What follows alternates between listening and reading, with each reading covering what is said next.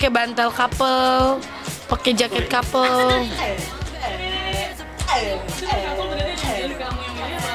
Jaketnya Hito, kalau bantalnya aku.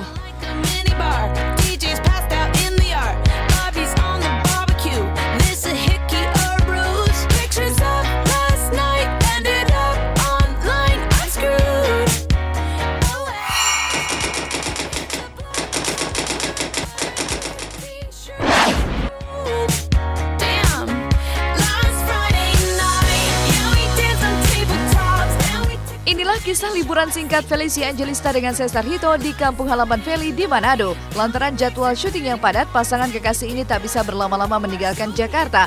Mereka pun memanfaatkan waktu sebaik-baiknya selama dua hari di Manado, termasuk keliling kota dengan menaiki angkot khas Manado yang disebut Feli dengan mikro gaul. Feli juga tak melewatkan kesempatan untuk bertemu penggemar setianya di kampung halamannya sendiri. Bercerita berita pagi, aku lagi ngedit vlog buat em, kemarin pas liburan.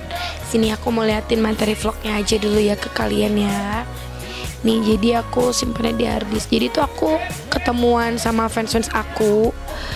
Ada beberapa fans-fans aku. Jadi aku ada gathering, private gathering gitu yang cuma ber-25 orang. Tuh.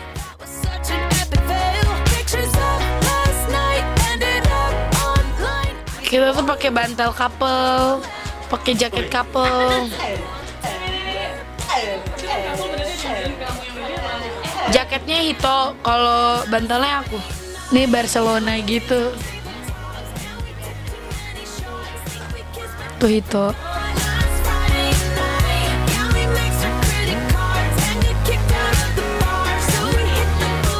Karena mikronya tuh harus pakai sound sound apa sih? Full house full house music apa sih yang kayak juk juk juk juk. Pokoknya banyak banget iniannya. Ini yang bikin aku pengen pulang tuh salah satunya gara-gara dia nih.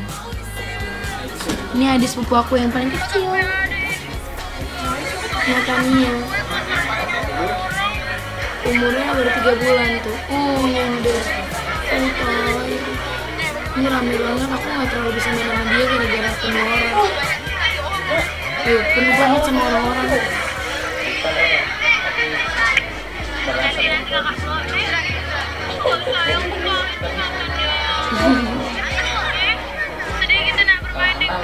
Because you know I'm all about that Selain jalan-jalan memanfaatkan waktu untuk liburan, Feli juga mengajak Hito di acara keluarga besar yang sedang merayakan ulang tahun Nenek Feli. Di sana Feli dan keluarga menggelar tradisi disko tanah yang hanya diselenggarakan di momen-momen tertentu seperti perayaan ulang tahun. Di tengah keluarga Feli yang sedang berkumpul, Feli sempat mengaku melihat Hito kebingungan melihat tante-tante Feli yang antusias dengan kedatangan kekasihnya. See the Kalau yang lucu tuh sebenarnya di disco-disco kayak gini. Jadi kita ada acara disko tanah. Tapi orang-orang tuh bukannya pada disco malah foto-foto terus. Disko tanah tuh jadi kayak clubbing gitu, tapi di tanah terus dari orang tua sampai nenek-nenek sampai anak kecil semuanya tuh di situ. Malam. Ini tempat acara aku yang kemarin. tapi ya sama aku juga Yang kayak oma aku ulang tahun. Nah, jadi joget-joget. Tapi orang-orang tua tuh aku nyalai. Jadi cuma dikelilingin doang. Sama tante-tante, sama om-om. Sama adek kecil.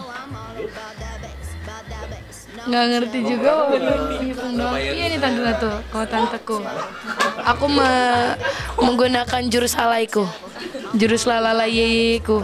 Itu kayak super kebingungan gitu. Sedangkan tante-tante sama om-omku pada alay-alay banget. Sampai oma aku juga alay-alay banget semuanya dah. Tradisi gitu di Manado. Enggak dong, kalau lagi ada acara-acara aja. Ada nikahan. Ulang tahun oma.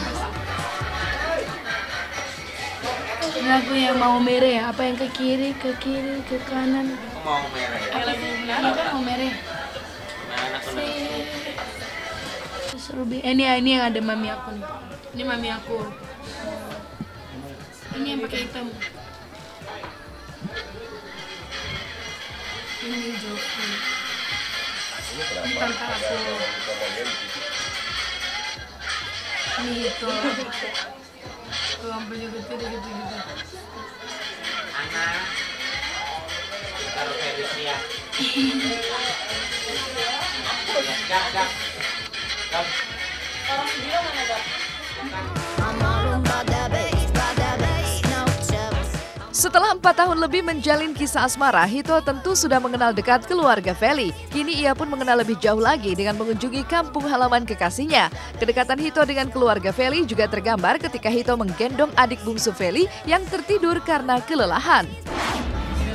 iya tuh alay-alay dia sempat bingung nih apa yang namanya tapi kataku udah joget aja terserah joget apa aja dia sempat bingung ini nih, nih adik aku udah tidur nih udah dipelukin sama Hito ini kita udah harus pulang.